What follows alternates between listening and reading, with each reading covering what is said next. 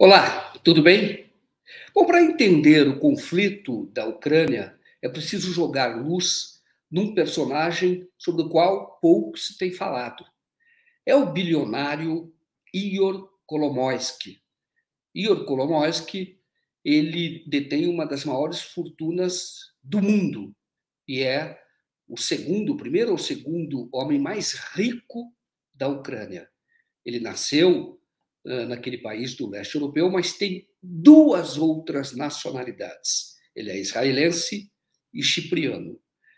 O país do deste personagem estranho, sinistro, é, na verdade, é o dinheiro.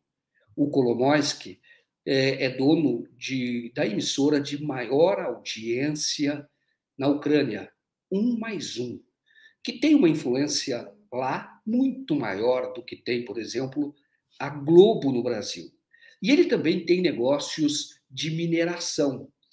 E a área de mineração, que é, é mais, é, vamos chamar assim, rica lá da Ucrânia, é justamente o leste, onde ficam as províncias de Donetsk e de Lugansk, que querem ah, se tornar territórios livres, isso depois, ou independentes, isto depois que a extrema-direita é, é, ascendeu no país.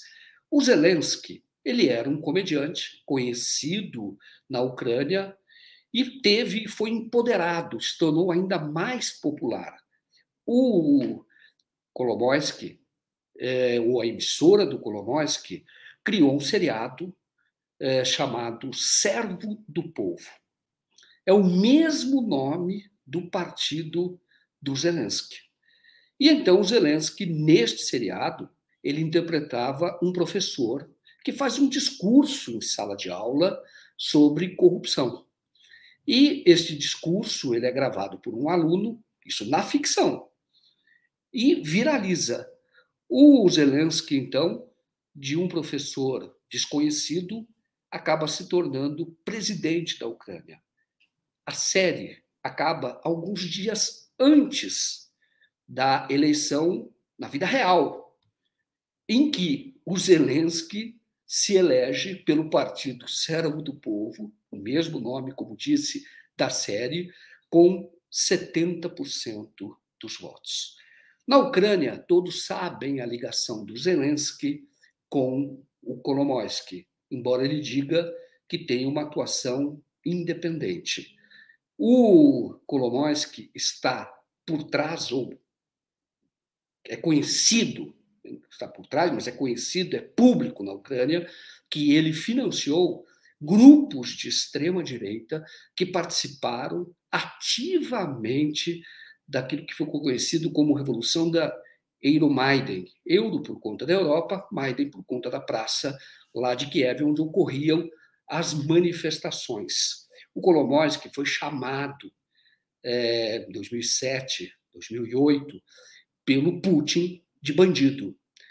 Isso porque o Kolomoisky tinha negócios com um amigo do Putin chamado Roman é, Abramovich, todos conhecem, que é o dono do Chelsea, colocou à venda agora o clube de futebol por conta das sessões, é, das sanções, né?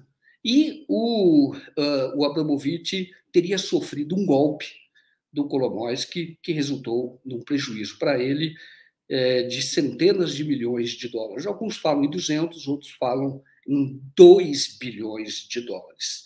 Mas o Kolomoisky é fundamentalmente um é, militante anti-Rússia. Ele financia como eu disse, alguns grupos né, de extrema-direita, grupos armados, milícias, entre elas o chamado Batalhão Azov.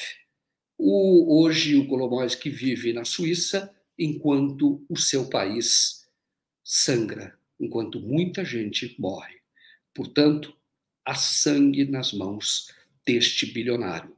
E é preciso é, jogar luz sobre ele, é preciso conhecê-lo mais, saber exatamente o que ele fez na Ucrânia e entender que existe financiamento para aqueles que é, exponham, aqueles que vivem, aqueles que militam fundamentalmente em cima do ódio, aqueles que estimulam o ódio na população ucraniana. Os batalhões ou as milícias financiadas pelo Kolomoisky têm como inimigo os moscovitas. Existem vídeos dessas organizações em que adolescentes é, falam é, que estão sendo treinados para exterminar os moscovitas. Não se trata aqui de defender nenhum lado nem outro neste conflito que precisa acabar, mas de expor as razões ou dispor é, uma atuação que claramente resultou é, no empoderamento na eleição do Zelensky. Muito obrigado pela audiência. Eu sou Joaquim de Carvalho e volto sempre que houver notícias para comentar. Um abraço a todos e até mais.